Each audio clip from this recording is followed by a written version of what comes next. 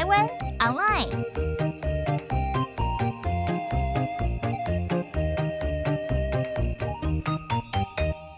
台湾 online 为您关心台湾的大小事，我是主播张庆玲。最近有个感人的新闻呢，那是一名伊索比亚的青年，叫做丹尼尔，他快海来台寻亲了。三十五岁的丹尼尔，其实他小时候有接受家福基金会的帮助，长大自立之后呢，来台湾寻亲。不同国籍、不同肤色，没有血缘关系，但是资助他十一年的认养人邱月美妈妈呢，她看到丹尼尔的时候，两人是紧紧的相拥哦，也热泪盈眶。其实这个家福的海外认养平童计划，这些年来资助了相当多的落后国家的孩子。我们今天就进一步来了解。为您连线的是家福基金会社会资源处的处长林秀凤处长，处长您好。是主持人好，各位听众朋友大家好。是处长先帮我们聊一下，说这丹尼尔跟邱月美妈妈的故事，他们到底是怎么结缘的呢？是是，我想，呃，这是一个很感动人的一个画面哦。人家说台湾最美丽的风景是人，人的热情，人的温暖，人的爱心哦。那丹尼尔是家福帮助的孩子哦。那家福从早期，因为呃台湾的经济各方面都不是那么好的时候，我们是接受外国人来台湾推展这样认养工作。在民国三十年前，七十六年时候，因为台湾的经济慢慢起飞了，我们觉得我们也可以有能力，除了帮助自己国内的孩子之外，我们希望能够回馈从前帮助台湾家父孩子的这些更落后的国家，所以我们开始推展国外认养服务。那这个伊索比亚这个丹尼尔先生，他从小出生在伊索比亚的贫民窟。然后爸爸因为呃在孩子他们小时候呢过世，妈妈带着他姐姐还有弟弟三个人一起生活。那你知道那边呃贫民窟本来经济各方面其实就非常常年的干旱，没有办法种植农作物，那工作就业又低，然后对他们来讲是雪上加霜，双重的弱势，多重的弱势。那所以那时候。透过呃家福基金会、美国总会呢，开始在全世界呃有一些呃国家的帮助。那台湾也有能力去帮助人家，说我们帮帮他曾经帮助三十六个国家的孩子，那现在也帮助当地七万个孩子。那丹尼尔是其中的一个。那在他十一岁国小六年级的时候，接受家福基金会的帮助，然后那时候我们和这个邱女士、邱妈妈来认养他。其实就妈妈想说，哎，其实没有想太多，但一认养就十一年。那丹尼尔他自己也很争气，他觉得要翻转他的生命，温暖他的人生，就是要努力的让自己更强壮，然后在这个贫困艰困的环境中，能够更更成长。所以他很努力念书，他虽然家境不好，很努力念书，然后也很懂得感恩。他珍惜这个邱妈妈从台湾寄给他的每一份的认养费，每一次的礼金。好，包括圣诞节跟复活节，这个邱妈妈都会多寄一点点钱给丹尼尔，他就用这些钱去补充自己的呃在学习上所需要的一些呃呃教材，比如说他这次来台湾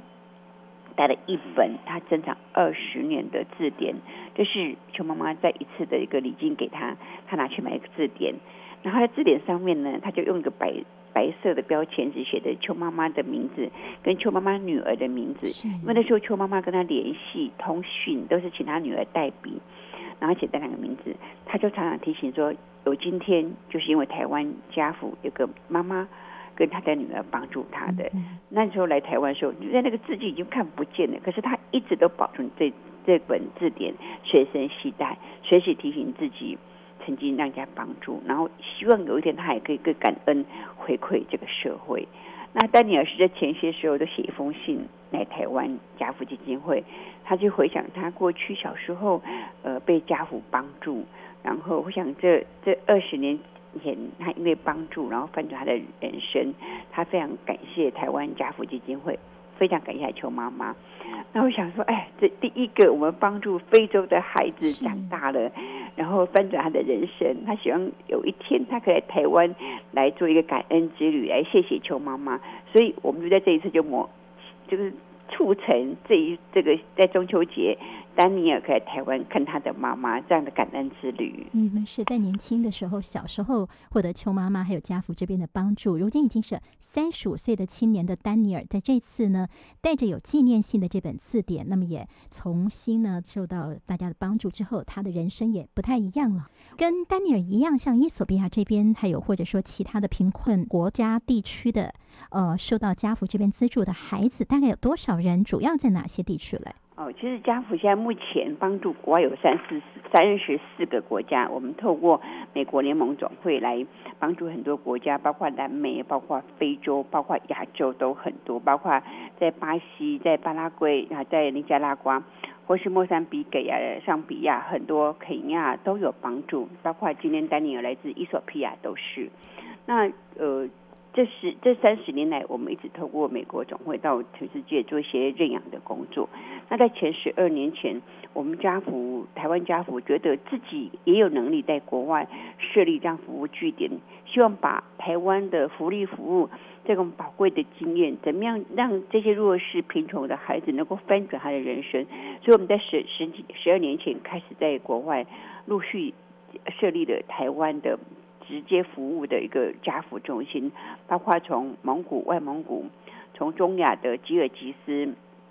然后南非的施瓦季兰，然后越南跟柬埔寨，未来也会在缅甸也。设立这样直接服务的国家，希望我们台湾住的社工人员把台湾的经验、台湾的专业带到那边去，那提供直接服务，透过台湾认养人的资金钱的经费资助，然后我们再搭配社工人员的专业服务，希望这些孩子真的因为这样帮助，能够翻转他的人生。是，所以说。触角非常的广，你说到非常多的地方哦，就直接的来服务当地需要帮助的。是，台湾内，我是主播张庆玲，为您连线是家福基金会的社会资源处的林秀凤处长。处长，其实我们知道说，在家福这边的认养平同的计划有国内认养跟国外认养。您刚刚有提到的，主要是国外认养的部分。以我们国内的民众来说，大家比较愿意呃协助或者说照顾的是。呃，国内的贫童是不是会对国外贫童的意愿就比较低吗？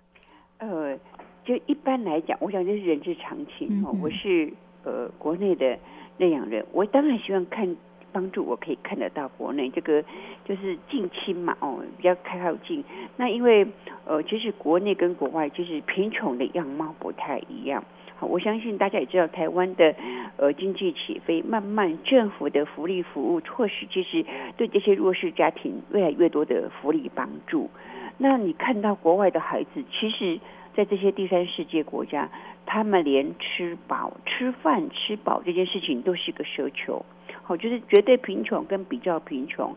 那其实我我我不我不否认，台湾的很多的认养人，他还是希望认养。国内的孩子，那是因为少子化，再来福家政府的福利措施其实是很足够的。那我们都总是期待这个地球上的每一个孩子，他能够被照顾到，至少三餐温饱，可以基本的需求可以达到。比如我我前我上个月也去非洲看我们吃完竟然看我们的孩子，是我们见到了很多社区厨房，就其实他们连吃饭都是一个奢求，所以我们在社区里面盖的厨房。找了一个妈妈来煮饭，那孩子呢就来这边吃饭。好，我就想说，哎，这个你转一圈看不到任何房子，这孩子从哪边来？工作人员跟我讲说，这些孩子走路都至少走两个小时以上才能来这边吃一顿饭。我说天哪，走两个小时甚至更久的、更远的路，我说那回去肚子不就在饿了吗？他说是啊是啊，可是他今天不出来吃，在家里就没得吃，他就是。处于饥饿久了，他就营养不良，就会饥饿，就会生病，甚至死亡。所以再远，他也会来吃这一餐。我看那个东西不怎么好吃，就是玉米粉一直煮煮，把煮那玉米桂，然后一点点豆子的那个酱这样拌着吃，我看起来不好吃。他说，即便不好吃，还是也孩子还是会吃，因为不吃他就饿肚子。我就想说，天哪！台湾的孩子真的很好命，很多东西就这样浪费掉了。地上一块钱、五块钱都还懒得捡呢。所以我觉得台湾的孩子真的更要需要惜福，真的是感恩惜福。那我们也希望呃民众或是这样人捐款人，其实去看到很多很多地球上的孩子，很多人温饱都还是个奢求，甚至就活活生病、营养不良，然后医疗不好，然后即将过世。所以大家能够。就将心比心，爱台湾的孩子，也可以爱全世界这些需要帮助的孩子。是，就我们所说的，这爱没有国界哦。这种人道救援，其实如果能够帮助海外的贫困儿童的话，其实是有些做法的。呃，怎么样让民众的爱心能够投入这海外贫童的认养计划？具体的做法怎么加入呢？哦，是可以加入呃。呃，台湾家福基金会的认养行列，也可以直接上我们家福基金会的官网，或是电话零四二二零六一二三四。就是目前我们在帮助国外，呃，持续帮助大概有将近七万名的孩子。那因为因为呃最近的可能经济比较不景气，我们大概每一个礼拜到一百多个认养人取消认养，哈，大部分都因为工作跟。呃，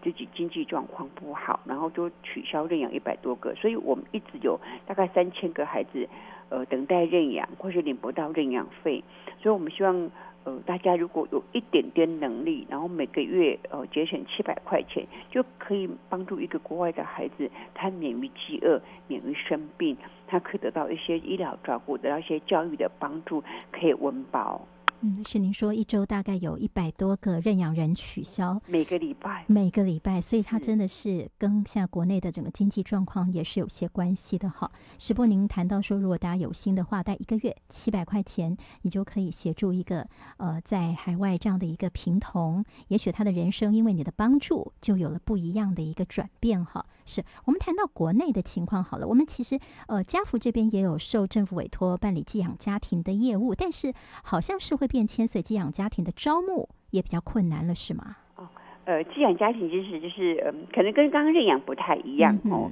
认养就是你有能力，然后透过金钱经费、认养费的帮助，那透过家父直接把这个钱，呃，给这个孩子的呃学教育啊。或是一些生活啊等等一些费用，那是认养。其实他们就是没有任何法律上的关系，也没有直接关系。也许家不会一年办一次的活动，会相见欢。那寄养呢是也没有法律上直接关系，但是他是受政府的委托。但这个孩子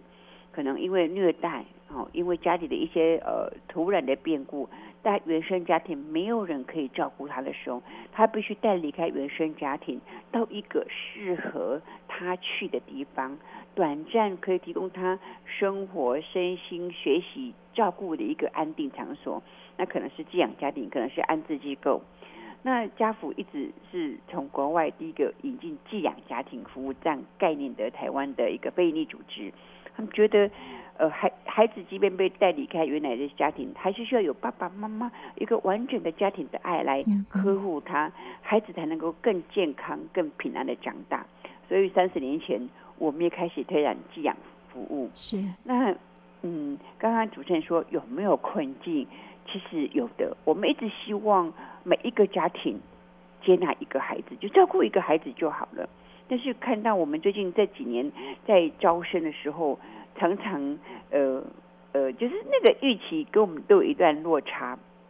啊。比如说，我们从前从以前呃十年前，我们大概一年会有将近两百户的新的寄养家家庭加入我们的寄养行列。可十年后现在，可能一年都增加不到一百户。一百户你除以全省，我们有二十四个家福中心，一个中心都不到五户，没有办法去支付我们。从政府部门转借过来这些受虐儿的照顾，所以我们一直希望能够一个家庭照顾一个孩子。那目前的比例是没有办法达到的，就是还要我们有一些些呃呃努力的空间。是那为什么这样招募会有这么些的困难？我想呃，其实呃有些人对寄养家庭有一些期待，比如说哎，我有我有爱心，我就可以接纳一个孩子来我们家住。或是哎，我只要家里找一个孩子来跟我的小孩作伴，好，然后一起成长，哎也不错。那我要说，寄寄养孩寄养孩子，嗯，不是各位想说啊，又可爱，会念书，很乖巧。这些孩子都长期被虐待，好，被疏忽、被遗弃的孩子，多少从他的内心内在的一些问题，是，或者是在被虐待的孩子，他总是有一些比较偏差、不适应的行为。到寄养家庭都需要一些时间的适应，是好，大家都在了解彼此。需要有更多的爱心，对对对，那因为这爱心还有一些技巧，还有一些技巧，因为这些特殊的孩子不是那么容易，是，所以好，所以有很多很多的问题，让我们这几年来慢慢的呃看到是很多寄养家庭。哎，有爱心，可是却步了，然后没有办法前进，可能家里空间不够啊，是好，可能呃，可能经济对他来讲，也许年轻的，呃夫妻还是需要以赚钱为为重要，嗯所以我们看看目前看到是比较是老龄化，越越高年纪的那个寄养爸爸、寄养妈妈更能够去接纳，然后投入寄养家庭行列。好可。这嗯是我们家福基金会现在所看到的，在国内这种寄养家庭的一个现况。刚刚我们也提到说，更多的朋友希望大家能够爱心加入认养或者是寄养家庭的行列。非常谢谢家福基金会社会资源处处长林秀凤处长接受我们的访问，处长谢谢您哦，谢谢谢谢谢。